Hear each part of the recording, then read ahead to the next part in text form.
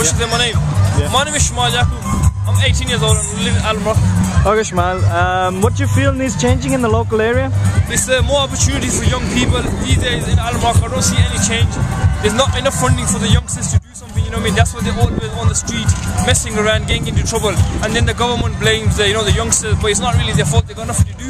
So how do you feel that we can implement these changes or Well, you can, you know, give ideas to the government and tell them what, what exactly it needs. You can ask the youngsters like myself, and I, I will give you 110 ideas. Do you know where to put the money, how to get the money through, and you will see a big change in the community. so you think we need to get together and um, share ideas? Yeah, I think we voice- do one day. Yeah. And what do you think? What do you think, like in terms of like crime and things like that? Like those- crime, it's, it's a big thing in Alum Rock. Gang, gangs is a big thing. On myself, I'm doing a campaign about anti-knife crime. It doesn't Yeah. have to happen. uk You can get more information, and that's what I'm trying to do. Is I'll increase, uh, raise awareness of anti-knife crime because there's a lot of crime in this area. That's what I'm trying to stop as well. So And um, do you think uh, crime goes along with drugs hand in Yeah, hand? drugs, crime. It's all about the friends you really basically are. It's your friends are what you are.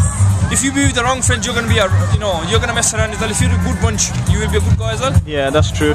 And uh, are there any projects you're involved in that the local community can help you with, like volunteers or Yeah, yeah. Soon that? I'm uh, hoping to look for uh, start uh, my own organisation to raise awareness of gang crime, uh, drug crime, anti-knife crime. So it will be good if uh, the local So um, can help. how can people get in touch with you?